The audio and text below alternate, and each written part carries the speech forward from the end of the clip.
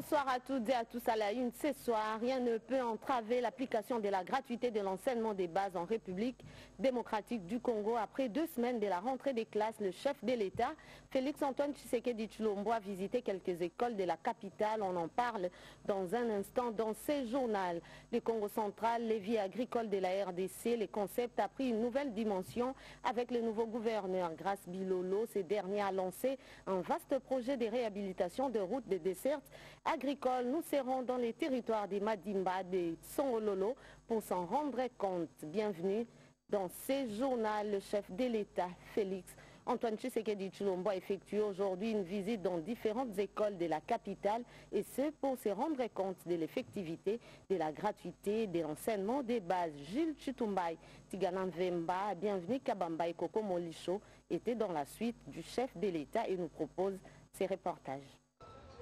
7h30, ils sont là pour apprendre. Ces élèves de l'école Kamina de Yolo dans la commune de Kalamou ont repris les chemins de l'école depuis le 2 septembre, date officielle arrêtée par le gouvernement.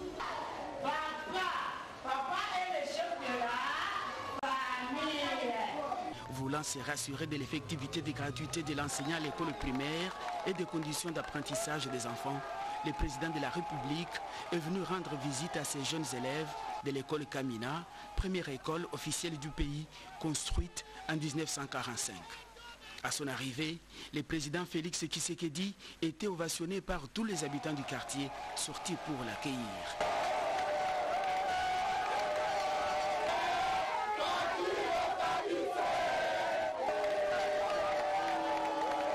Dans les salles de classe, le chef de l'État a réaffirmé son engagement concernant l'éducation de tous les jeunes Congolais. Le numéro 1 des Congolais a échangé directement avec les enfants. Il faut apprendre aux enfants l'hymne national. Faut leur apprendre l'amour de la patrie, hein? l'amour du Congolais, de l'autre. Ça, il faut leur apprendre ça. Il faut enlever dans la tête des enfants les histoires de tribalisme, de quoi? Il faut enlever ça. Faut leur dire qu'ils sont tous frères et sœurs congolais. Ils appartiennent à une même famille, le Congo. Vous avez entendu les enfants? On ne vous met pas d'autre chose en tête. Hein? Accompagné de la ministre de l'Éducation nationale, le président de la République a pris langue avec les corps enseignants pour se rendre compte de leurs conditions sociales. À cet effet, le chef de l'État a instruit la ministre de l'Éducation de tout mettre en œuvre pour doter cet établissement scolaire des nouveaux bancs, tableaux et de veiller à la réhabilitation des installations hygiéniques et salles de classe. Des décisions qui ont plongé une joie ineffable les enseignants ainsi que les responsables de l'établissement. Le numéro 1 vient de passer dans notre école. Vraiment, nous sommes satisfaits parce que tout ce que nous avons demandé, le chef nous a accordé, il nous a promis qu'il va le faire. D'ailleurs, la semaine prochaine, on va commencer les travaux. C'est la joie, c'est une fierté pour moi en tant que euh, premier citoyen, monsieur le maire. Homme de terrain et proche de son peuple, Félix Antoine Tshisekedi Chulombo n'hésite pas un seul instant pour palper du doigt les réalités de siens. Comme il le dit lui-même, les saluts du peuple et la loi suprême.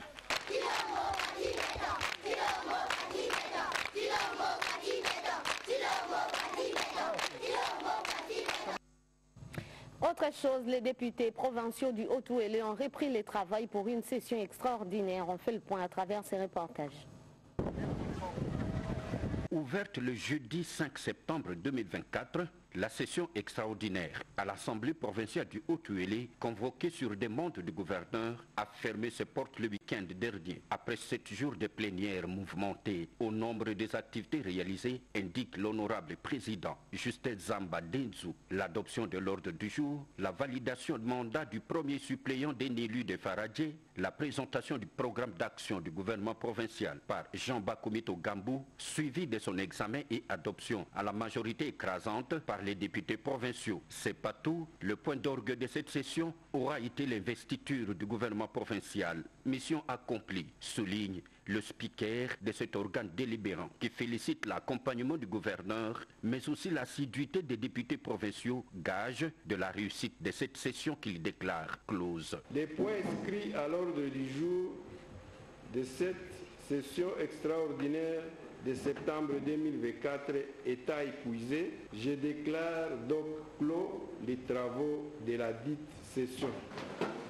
Signalons que cette cérémonie s'est déroulée en présence du gouverneur Jean Bakomito Gambou, assisté de tout son gouvernement investi, de membres du comité provincial de sécurité et d'une brochette d'invités. Et dans la province de l'Itourie, l'opération de bouclage des véhicules sans plaque minéralogique a été lancée. La police de circulation routière qui mène cette opération voudrait remettre de l'ordre dans ces secteurs. On fait le point avec Junior Selemani. L'objectif de cette opération de bouclage est de voir les véhicules porter de vraies plaques d'immatriculation. La DGI possède une importante quantité de plaques, a dit le commissaire divisionnaire Responsable de DGI, qui est d'ailleurs impliqué dans l'opération, nous a rassuré depuis euh, que l'opération a commencé qu'il y a des plaques d'immatriculation en quantité suffisante. Le numéro 1 de la PNC à a mis en garde ce qui trafic. J'ai demandé à plusieurs personnes qui viennent chercher des interventions, qui appellent même le pape pour que le pape intervienne en leur faveur. Je leur ai demandé, mais il vous arrive de voyager, n'est-ce pas? La plupart disent oui. Où est-ce que vous êtes déjà allé? Pour, Tout le monde a déjà été à Kampala. J'ai posé la question, avez-vous déjà vu sur les routes de l'Ouganda un véhicule sans plaque? Ils disent non. Alors pourquoi vous voulez pas respecter les lois de la République? Un réseau de fabricants de mauvaises plaques est déjà localisé. Alerte la police. Aux côtés de ces bouclages, plusieurs autres opérations ont déjà été organisées en Étourie depuis l'avènement de l'état de siège. Ces différentes opérations dans des coins chauds ont permis aux services de défense et de sécurité de mettre la main sur des fauteurs de troubles, disons qui se procurer d'une plaque d'immatriculation est un devoir civique. Et dans la province du Nord Kivu, le commissaire général adjoint en charge de la police administrative a présidé une parade dans la ville de Goma. En mission officielle à Goma, chef-lieu de la province du Nord Kivu, le commissaire général adjoint en charge de la police administrative a présidé ce lundi 16 septembre une causerie morale à l'intention des éléments de la police garnison de Goma. Le commissaire divisionnaire Abba Van Hang a insisté sur le comportement du policier en période de guerre, surtout en cette province du Nord Kivu sous agression des terroristes du 123 RDF, en coalition avec l'AFC de Corneille Nanga. Il a invité les policiers à être debout, toujours derrière les FARDC, contre les ennemis de la paix, en ayant un esprit d'alerte. Pour lui, il faut aussi veiller sur les traîtres en les dénonçant et favoriser un climat de bonne collaboration entre la population et la police.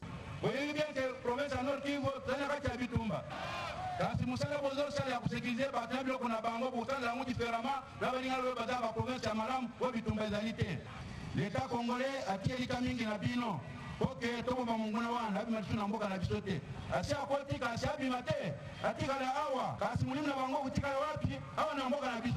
na noter que le commissaire divisionnaire Abba Van Hang a bouclé sa causerie morale en appelant les policiers à toujours demeurer disciplinés pour l'accomplissement correct de leur mission régalienne de protéger la population congolaise. Et c'est bien, et cette causerie morale s'est clôturée par un défilé.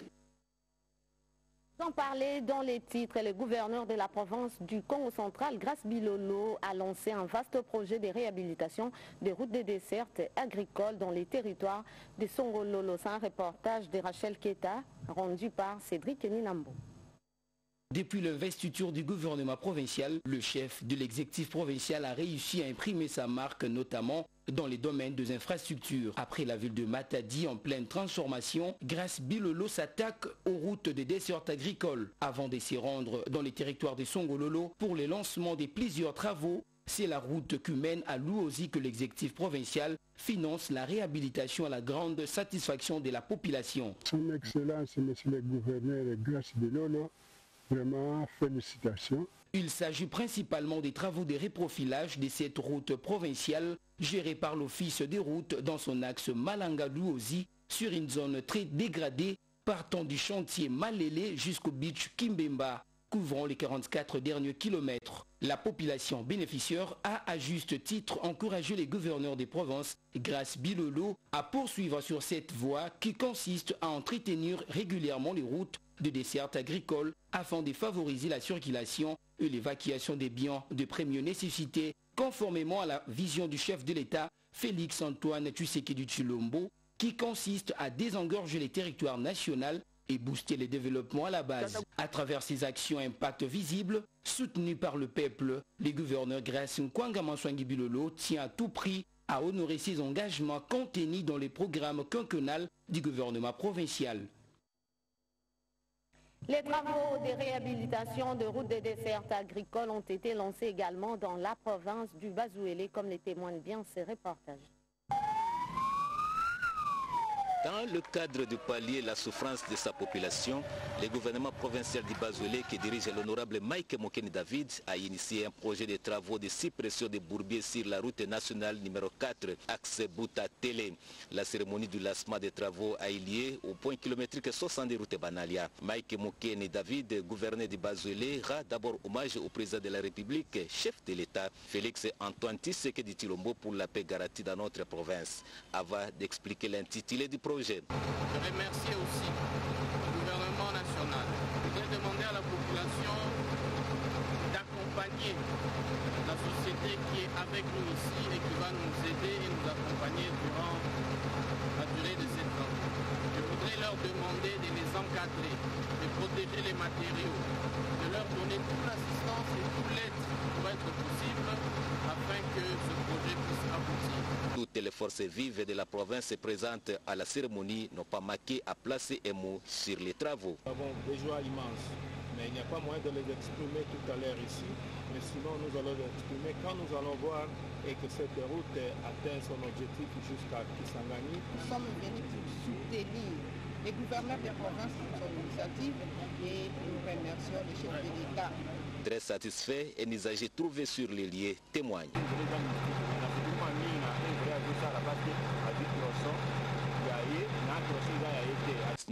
Ces travaux sont financés entièrement par le gouvernement provincial pour une durée de 4 mois dans un intervalle long de 89 km. Et de l'autre côté, dans la province du Lualaba, plus précisément dans les secteurs de l'Uilou, de nouvelles routes ont été construites. Suivez cela en images et commentaires. Recouvrir le taxe dit à la commune de Dilala pour permettre à cette municipalité de disposer des moyens financiers afin de réaliser son budget pour l'exercice 2024 était au cœur des échanges entre Françoise Mangoueji, bourgmestre de Dilala, et les chefs des services techniques attachés à la commune. Dans sa communication, la chef de l'exécutif de Dilala a annoncé un recouvrement forcé des taxes à travers sa municipalité. Je vous demande à tous d'être prêts à participer dans cette opération que nous lançons qui consiste à recouvrir les taxes dues à notre municipalité, faute de quoi nous ne serons à mesure de réaliser nos projets de modernisation de la commune. Un moment d'échange fructueux entre Françoise Mangoueji et le chef des services qui sont revenus sur les difficultés au sein de leurs services respectifs. Françoise Mangouji a promis de remédier aux difficultés exposées par les services techniques. Le rapport des circonstances salue l'effectivité de cette rencontre. Je suis consciente des difficultés auxquelles vos services sont confrontés. Tout ceci est dû à la mauvaise gestion que nous avons connue avant. Je vous promets d'échanger la donne suivant l'exemple de l'exécutif provincial pour accompagner la vision du chef de l'État, Félix Antoine Tshisekedi Chilombo, matérialisée en province par la gouverneure Fifi Masuka Saini, Françoise Mangoueji a recommandé aux contribuables assujettis aux taxes communales de s'acquitter de leurs devoirs, car aimer son pays, c'est payer ses impôts et taxes. Vous avez corrigé avec moi, c'était là l'annonce du recouvrement des différentes taxes dans la commune d'Ilala. Nous sommes dans la province du Lualaba. Poursuivant ce journal, le programme de développement local de 145 territoires poursuit son bon nombre de chemins dans l'ensemble du territoire national. L'inauguration des infrastructures des bases dans la province du Kasaï central illustre bien cela. Cet ouvrage impressionnant vient répondre aux besoins des retournés d'Angola vivant dans cette contrée. Contenant 6 salles de classe et un bureau, tous équipés en mobilier. L'école primaire Toussouangane a été remise au gouverneur du Kazaï central, Joseph Moïse Kamboulou Konko, en présence de quelques membres de son gouvernement, ceux du comité provincial de l'éducation, notabilité coutumière, élèves et corps enseignants. Quatre mois ont suffi pour réceptionner cette œuvre moderne, construite par Step 2. Son coordonnateur provincial, Jocelyn Kamadjoulou, indique remettre à la population d'autres infrastructures dans un avenir proche. Le projet STEP 2 intervient dans six provinces du pays, dont le Kassai central, qui bénéficiera d'ici juin 2025, date de clôture du projet, d'un total de 233 infrastructures. Dans son adresse, le chef de l'exécutif provincial a salué la qualité de l'ouvrage. José Moïse Kamboulou Konko promet d'y veiller et de sanctionner en cas d'abus. À ma qualité de gouverneur de province, j'invite les autorités scolaires, sanitaires et ceux qui s'occupent du développement rural à tous les niveaux de veiller à ce que les mesures qui vont dans le sens de la pérennisation des acquis du projet soient exécutées sans fin. Après ce lancement, le gouverneur de province a visité d'autres écoles implantées à Malandimakoulou et Matamba, y compris un forage d'eau en marque du même projet. Partout où il est passé, José Moïse Kamboulou a invité les élèves à respecter les mesures d'hygiène pour barrer la route à la variole des singes. Parlons de la clôture de l'année académique 2023-2024 à l'Institut supérieur des commerces de Lubumbashi, province du Haut-Katanga. Plus de 2000 diplômés issus des différentes filières qu'organise cet établissement d'enseignement supérieur ont été déversés sur le marché de l'emploi. L'Institut supérieur de commerce de Lubumbashi a mis à la disposition de la société près de 2000 jeunes issus de sa formation académique. C'était au terme de la double cérémonie de collation des grades et de clôture de l'année académique 2023-2024. La particularité de cette année académique qui s'achève à l'ISC Lubumbashi réside dans le fait qu'elle coïncide avec l'achèvement du premier cycle de licence du système LMD, a dit le directeur général de l'ISC Lubumbashi, le professeur ordinaire Kabang Kitenge Armand avant de rendre un vibrant hommage au chef de l'État, son Excellence Félix Antoine Tshisekedi Chilombo, pour des réformes initiées dans notre secteur relatives à la construction de nouvelles universités, à la réhabilitation des infrastructures d'autres universités et surtout en veillant sur la situation socio-économique de tous les personnels le secrétaire général académique, le professeur Jean-Paul Catande, a indiqué que toutes les activités académiques se sont réalisées à 99% et que le taux de réussite est de 59% en deuxième licence sur un total de 2613 finalistes. Le conseil d'administration des instituts supérieurs techniques et artistiques a reconnu les efforts fournis par l'ISC Lubumbashi, notamment au sujet du respect du calendrier académique que le ministère de l'Enseignement supérieur et universitaire souhaite harmoniser. Les chefs des différentes sections qu'organise l'ISC Lubumbashi se sont succédés pour proclamer les résultats des examens de la première session avant la confération des grades académiques par le directeur général sous une ambiance bon enfant. L'année académique 2023-2024 s'est clôturée également dans la province du Kwilu. Le gouverneur de la province Tikwilou, Félicien Kiwaïmouadi, a présidé une double cérémonie ce samedi 14 septembre 2024 à l'université de Bandundu Inibando. Il s'agit de la clôture de l'année académique 2023-2024 ainsi que de la collation des grades académiques. L'activité s'est déroulée à la tribune centrale de Bandundu en présence des autorités politico-administratives, des membres du conseil provincial de sécurité, des corps scientifiques et académiques ainsi que des invités des marques. Dans son discours de la générale, le recteur de cet alma mater, le professeur Ginkai Lila, a révélé les statistiques des lauréats de cette année académique. Cette ambiance reflète surtout la satisfaction que éprouvent en ce moment les 333 lauréats, dont 96 de la faculté de droit, 88 de la faculté de psychologie des sciences et l'éducation, 33 ingénieurs de la faculté des sciences agronomiques et 70 de la faculté des sciences économiques et direction de calendrier de la faculté de médecine et 5 du département des sciences de l'information et des communications. Prenant la parole pour ce mot de clôture, les patrons de l'exécutif provincial s'est exprimé en ces termes. La formation ne s'arrête pas à l'université. Elle est permanente. La voie vous est ouverte diverses opportunités d'emploi. Notez que tout s'est passé dans une ambiance bon enfant.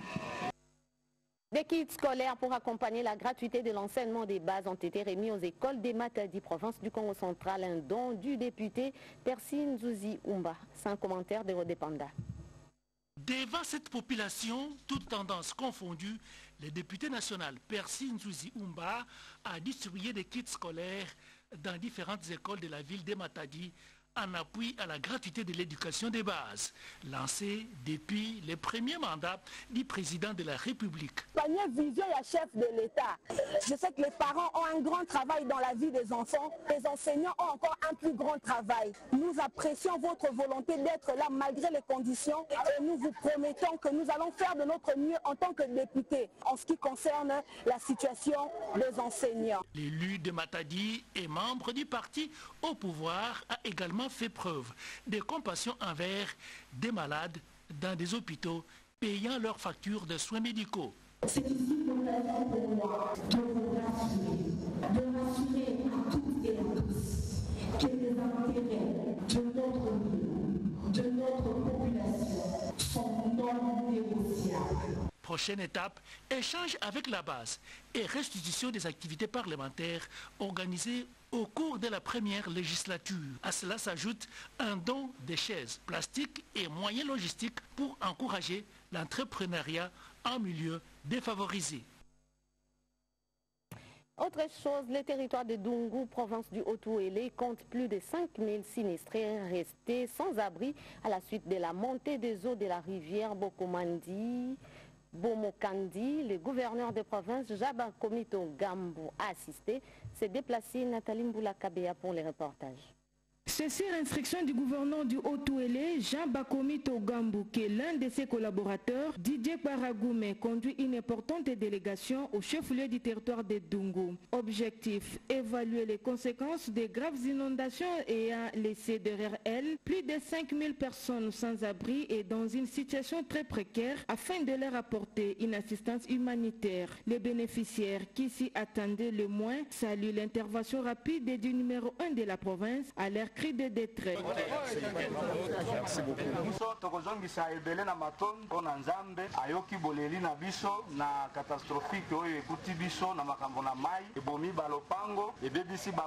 bamai ya kosalela ebebi ndenge togangaki son excellence monsieur le gouverneur jean bakomito ayoki boleli na biso Pour ce faire, l'envoyé spécial du gouverneur Didier Baragoume souligne la sensibilité de son chef aux préoccupations de sa population. Nous avons un gouverneur à l'écoute de sa population qui ne dort pas, qui est le grand catonnier. Il est très sensible à tout ce qui euh, touche à sa population. Aussitôt qu'il a appris qu'il y a eu victime euh, de sa population contre des, gars, des catastrophes naturelles, il n'a pas hésité, il n'a pas dormi. Il est venu au secours et ce n'est qu'un débit et il va continuer jusqu'à tel point que cette population soit rétablie de leur paisible, leur quiétude. Signalons que trois quartiers du territoire de Dungu, à savoir Ngilima, Bomkandi et Ouye, sont gravement touchés par ces inondations avec plus de 5650 maisons détruites. Et puis les sinistrés de Kanyaruchinia, province du Nord Kivu, n'ont pas été oubliés. Ils viennent de bénéficier d'une assistance composée des vivres et non-vivres. Des actions sociales caritatives qui valent leur pesant d'or pour une meilleure Asbel en RDC. L'association des amis de Sangwa-Lubandi, la province du Nord Kivu, sous l'égide de son coordonnateur national, Sangwa-Lubandila en personne, s'est rendue dans le territoire de Niragongo au chevet de déplacés de guerre dans le camp de Kanyaruchinya. Nécessité d'une assistance humanitaire d'urgence, Sangwa Bandila a apporté à ces déplacés une cargaison de vivres composés de sacs de riz, d'huile végétale et autres articles comme signe de compassion à ses compatriotes victimes des affres orchestrés par le M23. Les bénéficiaires de cette assistance n'ont pas manqué de mots pour remercier les bienfaiteurs Sangwa Lubandila pour ce geste qui marque la compassion. Sangwa Lubandila tunampigia asante sie mama tumeona ametuletea mchele ametuletea na mafuta Mungu aendelee kumbariki na kesho tena asiende abakilie kule aendelee kutukumbuka Démarqué par ses nombreuses actions sociales à travers le pays, Sangwa Lubandila Salou, coordonnateur de la fondation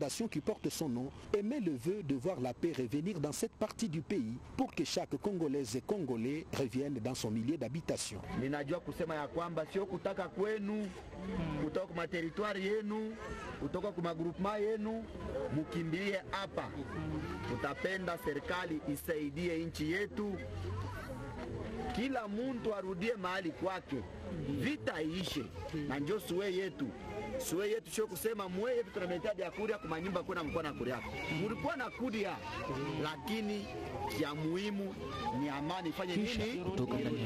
Après avoir accompli une tournée de près de deux mois en territoire de Congolo dans la province du Tanganyika et ce périple de réconfort à Niragongo dans le Nord Kivu, Sangwa Lubandila s'est envolé pour Lubumbashi dans la province du Haut-Katanga. Quatre secteurs d'Ilebo, province du Kasaï, viennent de bénéficier des forages d'eau, gestes de générosité posés par les députés provinciaux Muller Milambo Mwambi. Isidore Kayakeshi de la RTNC Chikapa a signé ces reportages.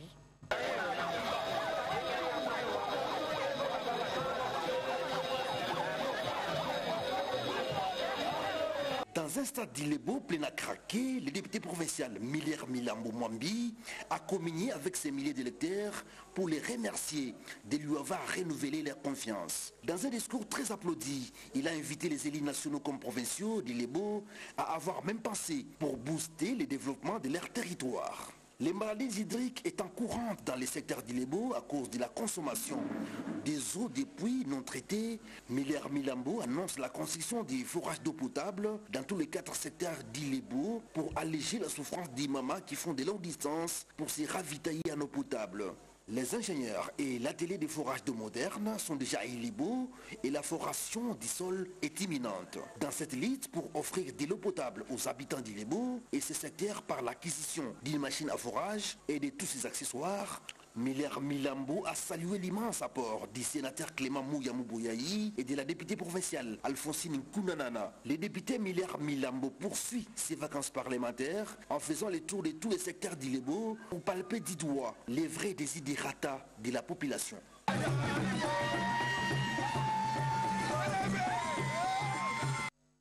Revenons sur la cérémonie de la clôture de l'année académique 2023-2024 qui a été organisée au Leadership Academia University. Chimène Dondo et Patrick Bapouila ont signé ces reportages. Au nom de la ministre close l'année Au total, 396 étudiants lauréats lancés sur le marché d'emploi en République démocratique du Congo par l'université chrétien Leadership Academia University dans la commune de Limete. Cette ressource humaine a prêté à participer selon le domaine de compétences au développement de la RDC.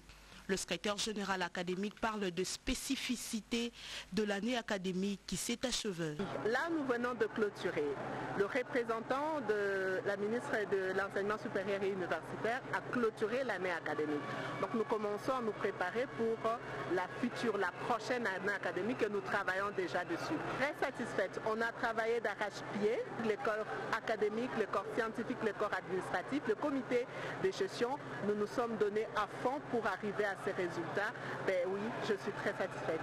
Par ailleurs, cette cérémonie de clôture de l'année académique a été présidée par Michel Niamanzoni, directeur de cabinet adjoint représentant de la ministre de l'Enseignement supérieur et universitaire en présence de corps professoral et du recteur de cette université, le professeur Daniel Kawata. Le département des mathématiques, statistiques et informatiques de l'Université de Kinshasa a organisé un déjeuner numérique et entrepreneurial des précisions avec Grace Manson. Ce rendez-vous de deux jours tire sa valeur au fait qu'il est un cadre d'échange, d'expérience entre les experts du programme African Digital and Business Booster venus de l'extérieur, les étudiants, les chercheurs et les hommes des sciences congolais qui sont tous intéressés par le rapport entre le numérique et l'entrepreneuriat. Grâce à ce déjeuner, nous entamons nos pas vers le modernisme et surtout la numérisation de tout.